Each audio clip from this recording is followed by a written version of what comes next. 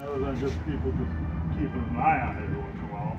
Is it is it really not that hard to raise them? Yeah. No. I mean, it's, you know, a month later, they are, about a month later, you know, you can, from the little hatchery things, you can dump them in the trough. you know. Yeah.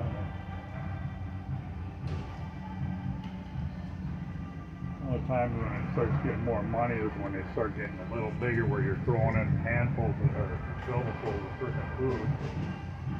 What do they used to do about the birds like back back then? When I worked there, they had a Shoot permit, but I shot. Of course, you could only shoot so many a year. But I never, nobody ever come to get tracked. Do you not ever? You know, I Christ, first year I was here, nobody would shoot. I shoot 15, 20 maybe on my side. And you, you could yell at them, they wouldn't even go. You had to actually run and go about 50, 75 yards before they'd take off. Yeah. And then the next year I started shooting. I, I got me like a hundred of them the first year.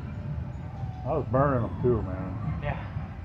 Yeah, I told him that's what I gotta do. You, you, I had a barrel you back. can't have evidence for that.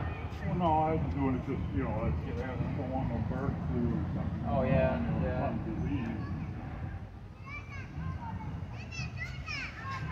Chucha. Couple times, you know, uh, during the week, one week. Grande tucha.